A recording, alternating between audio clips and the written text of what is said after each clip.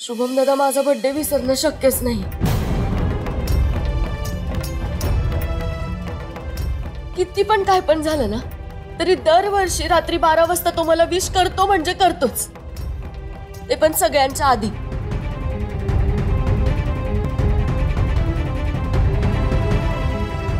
मला माहितीये, शुभम दादा येणार, नक्की येणार तो.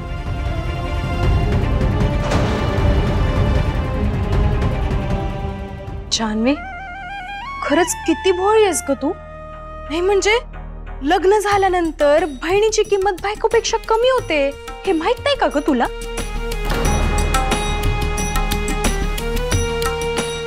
आता बघ जाऊबाईंचा पण वाढदिवस आत्ताच झाला. त्यात जाऊबाई ती मोठी स्पर्धा पण जिंकल्यात. आता हे सगळं साजरं करायला ते कुठल्या तरी थंड हवेच्या ठिकाणी गेले असतील गेले असतील का? नाही थेट मुंबई गाठली असेल त्यांनी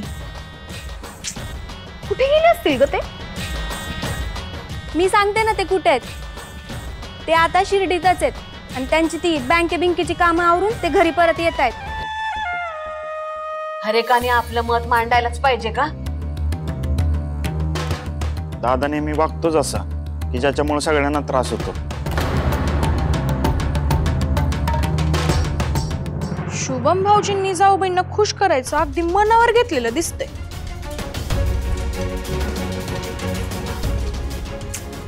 ते त्यांच्या तालावर अगदी वेड्यासारखे नाचायला लागले.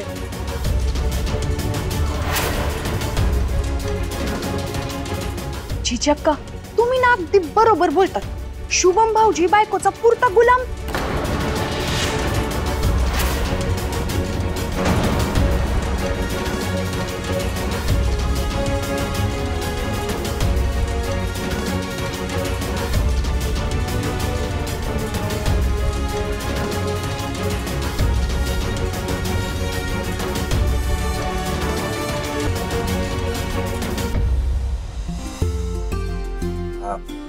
दादा या आहाराची किंमत काय? बघतो हा. छान आहे ना? आजचा सोन्याचा भाव चाळीस हज़ार रुपये. त्या हिशोबाने मजुरी धरून नव्वद हज़ार रुपये होतात.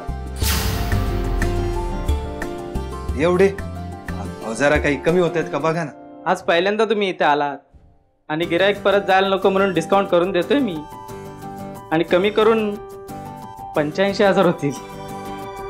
नाही हो, तरी खूप म्हणताय तुम्ही. नको, हा हार नको. मी कुठला तरी बघते.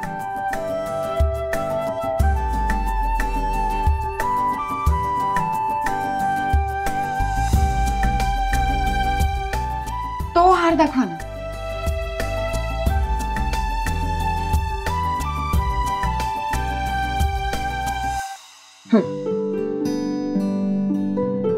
आओ. हा कसा वाटतो? छान आहे. दादा ह्याची किंमत सांगा ना. हा वजनाप्रमाणे साठ हजाराचा होईल. हा चांगला आहे. अं, हा घेऊयात आपण हा द्या. तुम्हाला नक्की आवडलाय हा हार? हो. छान आहे की? ठीक आहे मग मी पैसे भरतो. खरंच का बाई कल्पने तुझी खूप मोठी मदत झाली. हो हो ठेवते हा. काय गे तुझ्या बहिणीचा फ़ोन होता आणि इतक्या चटकन ठेवून पण दिलास. कमालच झाली म्हणायची. कल्पनेने फ़ोन काय गप्पा मारायला नव्हता केला? मग? तिने हे सांगायला केला होता की तिने शुभम भाऊजी आणि जाऊबाईंना पाहिलं.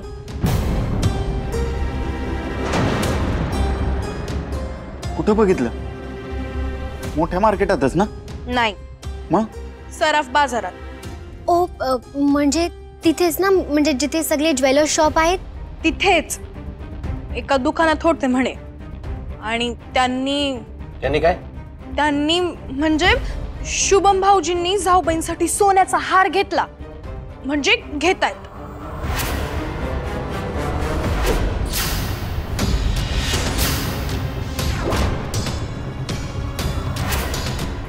आणि आता तरी हे खोटं नसू शकतं ना? नाही म्हणजे कल्पनाने बघून लागलीच फ़ोन लावलाय ना?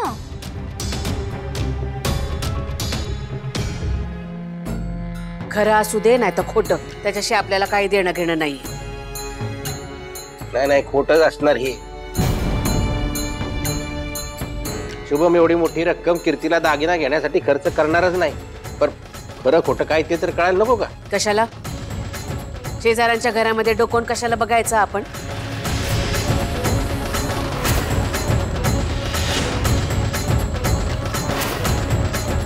जिजाक्का ते आपलेच दादा वहिनी आहे ना?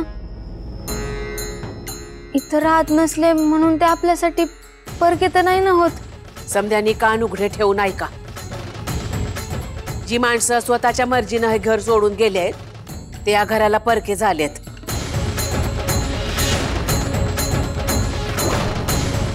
या गल्लीमध्ये बारा पंधरा कुटुंब राहतात. त्यातलंच एक शुभम कीर्तीचं आहे.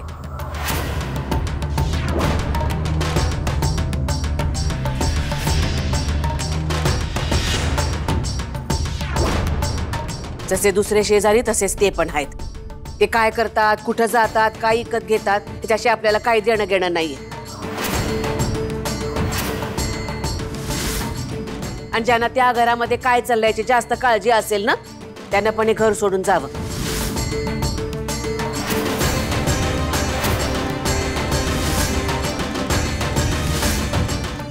त्या शेजाऱ्यांच्या घरात जाऊन राहावं पाहिजे तर.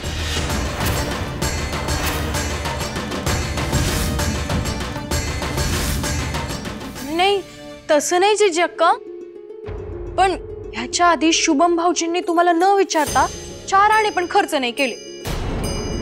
आणि आता त्यांच्या बायकोसाठी सोन्याचा लाख भराचा हार घेतलाय. म्हणजे बघा तुम्हीच. मी काय बोलले तुला ऐकायला नाही आलं का सोनाले? अगं गप्प बस ना विंडोक.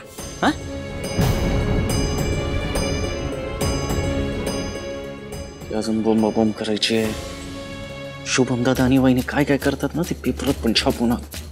आणि मग सामान बांधून तयार राहा. हम्म, नाही नाही. मला घर सोडून नाही जायचंय. नाही जायचं ना? गप्प बस. अं, मी आलो जिजा अक्का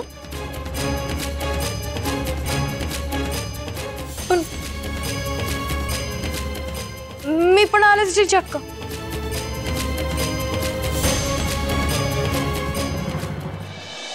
मला अजून पण हेच वाटतं दुसरं कोणी पण माझा वाढदिवस विसरेल. आणि शुभम दादा नाही विसरणार. मला माहिती आहे तो येणार. नक्की येणार. आणि ते पण बाराच्या आत. जान्हवी तू आता जास्तीची अपेक्षा ठेवू नकोस. बहुतेक आता तुला दोनच भाऊ उरलेत असं समजूया आपण.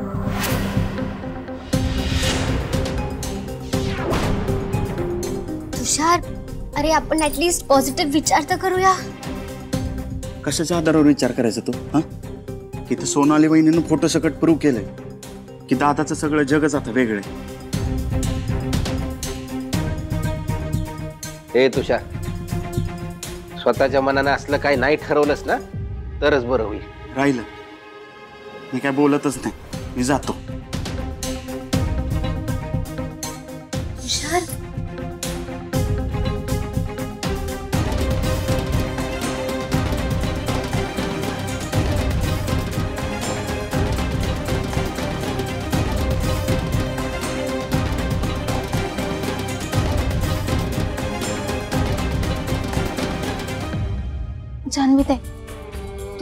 अजिबात काळजी करू नका.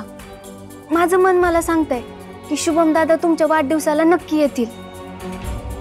आणि हे बाकीचे सगळे बोलतात तसं खरंच शुभम दादा फिरायला गेला असेल तर. अहो आत्ताच तुम्ही बोललात ना की ते नक्की येतील म्हणून.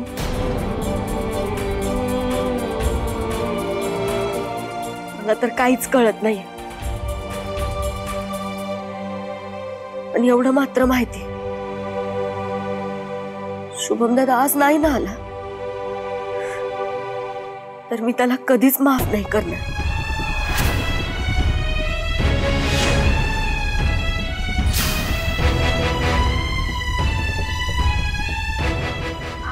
जानवीताई, ऐका ना.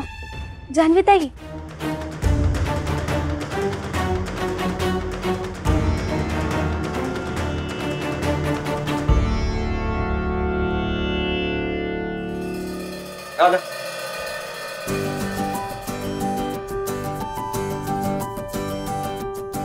हा तुमचा हार मी फिनिशिंगसाठी पाठवून देतो.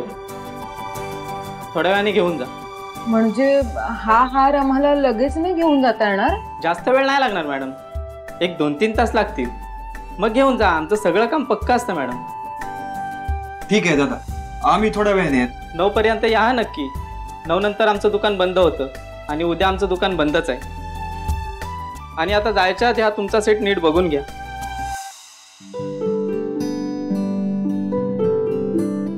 आहो हा पहिला हार आहे पंच्याऐंशी हजार म्हणतो तो हो आपण हाच घेतला ना. आहो नाही दुसरा आपण सिलेक्ट केला ना तो घेणार होतो ना आपण. त्या हारानं तुमच्या चेहऱ्यावर तितका आनंद आणला नाही जितका या हारानं आणला. आहो पण हा महाग आहे. आपलं बजेट संपेल ना. कधी कधी किमतीकडे बघायचं नसतं. तुम्हाला हा आवडला ना मग माझ्यासाठी हा अनमोल आहे. येतो. सर येताना ही पावती घेऊन या. हा. येतो आम्ही नऊच्या. हे. काय? तुम्ही लोळत पडलात? हो तुम्ही अशीच लोळत पडलात ना तर आलेली संधी पुन्हा निघून जाईल. कसली संधी? अहो असं काय करताय? चांगलं भाऊ बनायची संधी. पण घरच्यांच्या नजरेत. उद्या जान्हवीचा वाढदिवस आहे की नाही? आज रात्री बारा वाजता मी केक तो केक कापताना तिचा लाडका शुभम दादा असेल? हवेत गुल बायको बरोबर कुठल्या तरी थंड ठिकाणी गेला अशा वेळेला बहिणीच्या खास दिवशी तिच्या बरोबर कोण असणार? तुम्ही.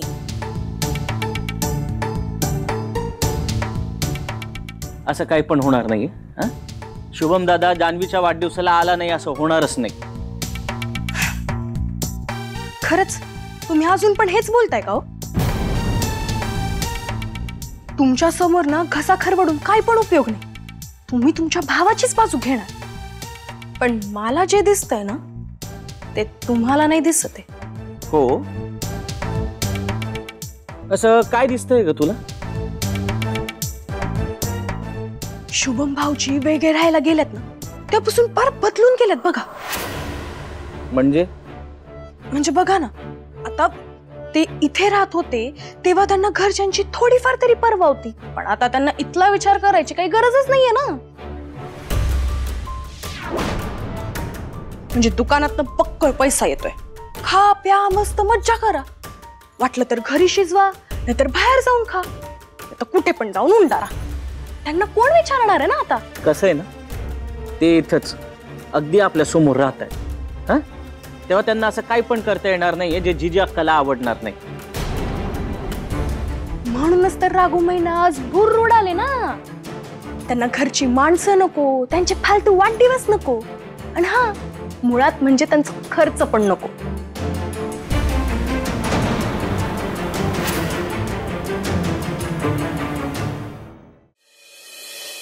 आपल्याला पटापट जायला पाहिजे नाही तर ते दुकान बंद होईल. हो तेव्हा ना फिनिशिंग झालं असेल ना? हो हो हो. आणि उद्या दुकान बंद आहे ना? आजच जायला पाहिजे. इथंच ना? हा चला.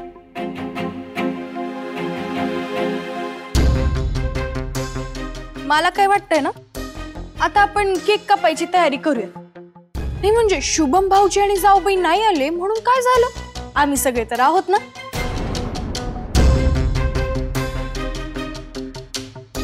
इतका चांगला दिवस साजरा झालाच पाहिजे. होणार आहे तुषार? हो. जान्हवी तुझ्या या घरातला वाढदिवस एकदम दणक्यात साजरा करूया. तू अजिबात काळजी करू नकोस. काय? बरोबर। वाढदिवस दणक्यात तेव्हाच साजरा होतो. जेव्हा घरातले समदे असतात. घरातले समदे इथंच आहेत जानवे. परक्यांची वाट बघत बसलीस तर तू मूर्खपणा ठरेल.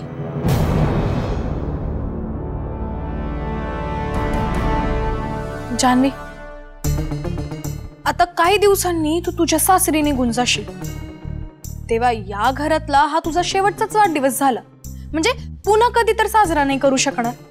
आणि केला तरी तू तेव्हा माहेरवाशी नसशील.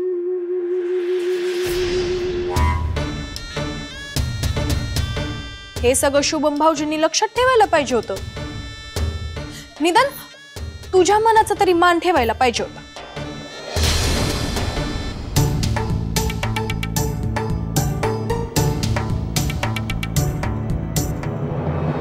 नाही कापायचा केक बिक काय थांब जाणे अगं तूच म्हणालीस ना की बारा वाजायच्या आत माझा दादा येणार म्हणून तुझा भरोसा इतक्या लवकर उडाला होय ग. भाऊ तो येणार असता तर आतापर्यंत आला असता ना.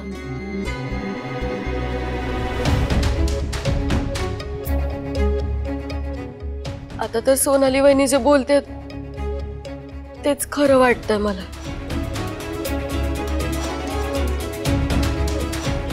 चला. निदान कोणाला तरी माझं म्हणणं पटलं म्हणायचं. आणि कुणाला काही वाटू दे. मला खात्री शुभम, तुझा वाढदिवस या जन्मात विसरणं तरी शक्य नाही.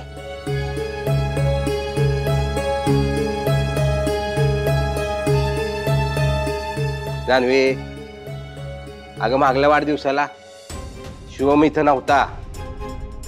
पर तो दिवस विसरला नाही. तुझी भेटवस्तू त्यानं आधीच घेऊन ठेवली होती. ऐन वेळेला पाठवली तुला. आणि सकाळ सकाळ फ़ोन पण केला होता. आठवते आता ह्या समध्या जुन्या आठवणी झाल्या. पुलाखालनं बरंच पाणी वाहून गेलंय. तरी पण शुभम जसा आहे तसाच राहील.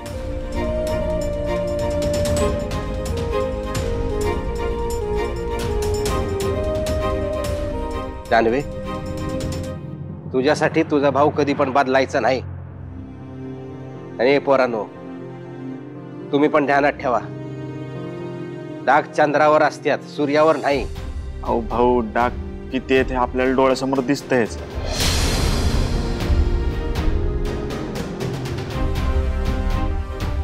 पण तुम्ही अजून पण दादाच्याच बाजूने बोलताय ना? आपण आहे ना थोड्या वेळ वाट बघूया आणि मग नंतर केक कट करूया चालेल?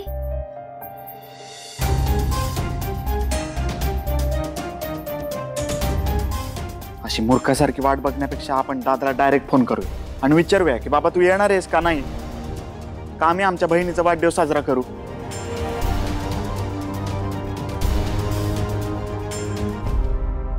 हो तुषार दादा तुम्ही ना फोनच करा आता.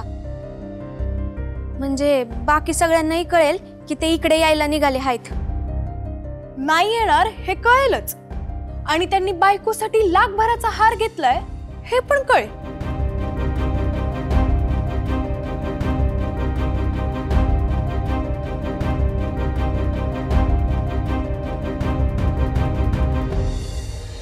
तुषार, लाव रे, लाव.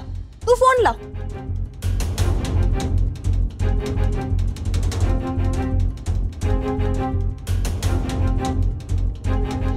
लाव ना लवकर फ़ोन. हो हो लावतोय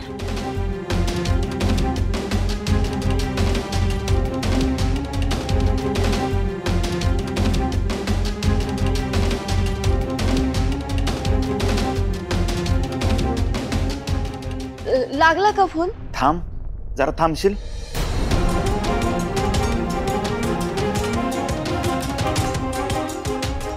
जाऊबाई दरवेळेस मला खोटं पाडतात? आता त्यांचे खरे चेहरे सगळ्यांच्या समोर येतील. चला पटापट. पुढल्या चौकात बघूया रिक्षा मिळते का? चल.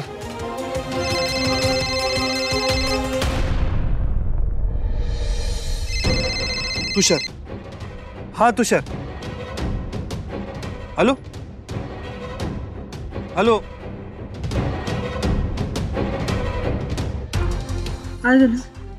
उचलतानाच बंद झाला बहुतेक. अरे बापरे. बॅटरी जवळजवळ संपत आली. अ, तुमचा फ़ोन द्या बघू. अहो रेंजच नाहीये. आता? आता फ़ोन करत बसलो तर फोनच बंद होईल हो. एक काम करूया आपण पटापटा घरी जाऊया. हा बघूया रिक्षा मिळते चल.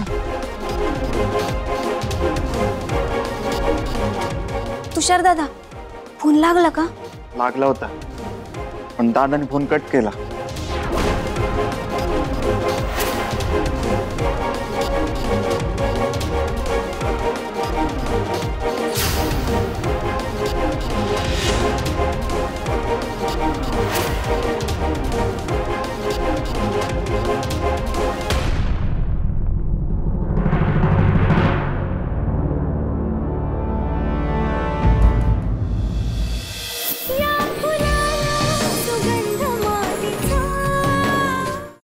तुमची आणि तुमच्या परिवाराच्या मनोरंजनाची जबाबदारी घेतली तुम्ही फक्त घर बसल्या बघत राहा स्टार प्रवाह यूट्यूब चॅनल आणि हो स्टार प्रवाह यूट्यूब चॅनल सबस्क्राईब करायला विसरू नका.